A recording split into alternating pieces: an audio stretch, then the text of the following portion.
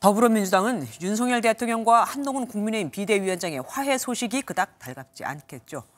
피해를 당한 국민을 배경으로 갈등 봉합 쇼를 벌였다며 또 김건희 여사 명품백 논란이 혹 수면 아래로 내려갈까 공세 수위도 더 높이고 있습니다. 이병주 기자입니다. 윤석열 대통령과 한동훈 비상대책위원장이 충남 서천 화재 현장에서 만난 이튿날 민주당은 이재명 대표까지 나서 비판 수위를 끌어올렸습니다. 이 대표는 수해 지원 활동을 갖다 비가 더 오면 사진이 잘 나올 것 같다고 말해 논란이 됐던 국민의힘 김성원 의원 일화까지 거론하며 역사에 남을 사건이라고 꼬집었습니다.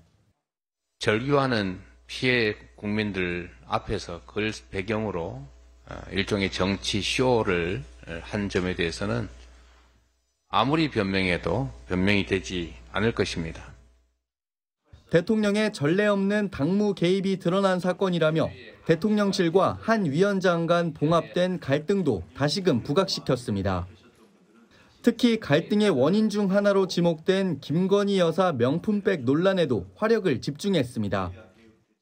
김건희 여사 같은 경우는 명품백과 관련돼서 사과로 끝날 일이 아닙니다. 사과는 기본이고 이거에 이 문제에 대해서는 수사를 통해서 국민의힘은 돼지의 눈으로 보면 모든 것이 추해 보인다며 정치쇼 지적을 반박하고 국민 고통 앞에 멈춰야 할 정쟁을 민주당이 키우고 있다고 맞받았습니다.